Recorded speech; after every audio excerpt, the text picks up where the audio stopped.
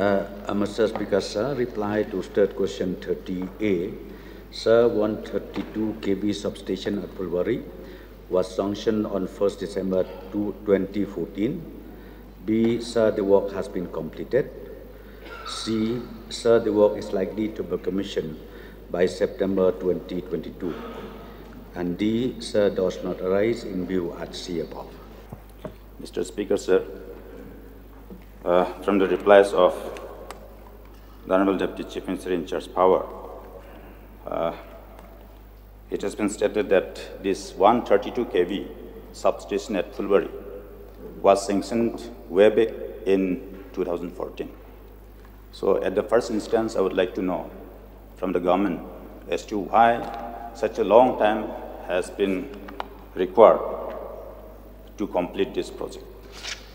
Uh, sir, yes, the process is very long, sir. In fact, sanction was accorded way back in 2014, whereas the actual signing of loan agreement between the between the central government and with the uh, financial agency and also with the state government was only done on the 28 11 2016 so immediately, after that the work orders was issued for implement, implementation of this project sir.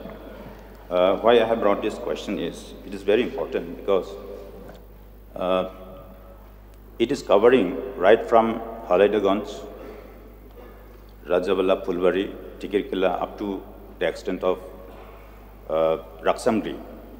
So, in the absence of completion of this very project, people are suffering because very low, voltage in these areas. And uh, I think that franchisee FEDCO has been given the responsibility for the management of this area.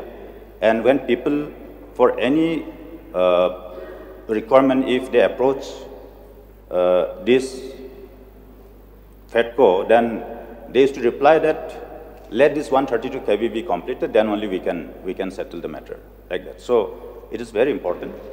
So I would like to know from the government, the Deputy Chief Minister in charge power, as to when it was completed. No, the reply is it is completed already. That's why the date and when it was completed. Uh, sir, in fact, as I've already replied, 132 kV substation was completed. It was just completed recently. That's why I again replied that commissioning will be held by September 2022, sir.